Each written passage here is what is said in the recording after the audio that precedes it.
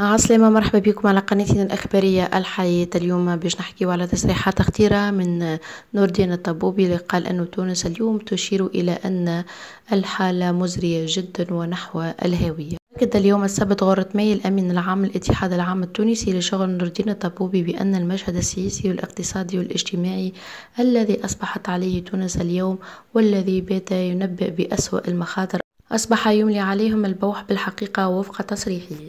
وأضاف الطبوبي خلال كلمة ألقاها بالمناسبة عيد الشغل بأن هذا الوضع بات يحملهم مسؤولية مسؤولية تسمية الأشياء بأسمائها.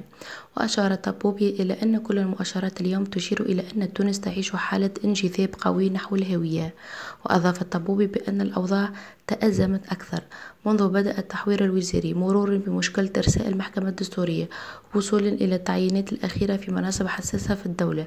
الشيء الذي عمق القطيعة بين كل مكونات السلطتين التشريعية والتنفيذية والتي أصبحت تنبئ بتفكيك أجهزة الدولة بحسب تعبيره وشدد الطبوبي على أن الاقتصاد التونسي الوطني شارف على الانهيار وبات مهددا بالإفلاس مختلف القطاعات وغلق عديد المؤسسات الصغرى والمتوسطة وإحالة آلاف العمال على البطالة وبالإضافة لتراجع ترقيم تونس السيادي.